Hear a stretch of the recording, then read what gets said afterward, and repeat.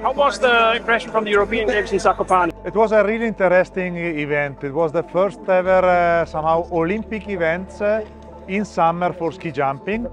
We open an interesting opportunity for our future. Uh, great interest uh, in Poland and across Europe.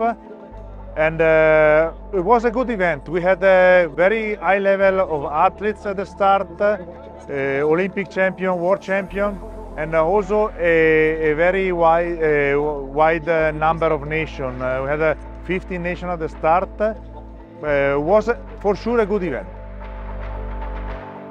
This is the first weekend we have in, in, uh, in the summer season. We are confident uh, that as usual here in uh, Courchevel we will have a lot of spectators and will be a nice uh, start for our uh, new season. And uh, we are all excited to, to see how all the adjustment of the rules uh, uh, will have an impact on our competition. This is an important step to, to make our sport uh, uh, even more fair for the future because uh, with this new body measurement the athletes are checked with a machine.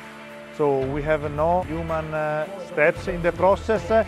We are checking them with a machine the athletes are checking the position and we really uh, feel that this step will guide us into the next level for our sport the next level of fairness for our sport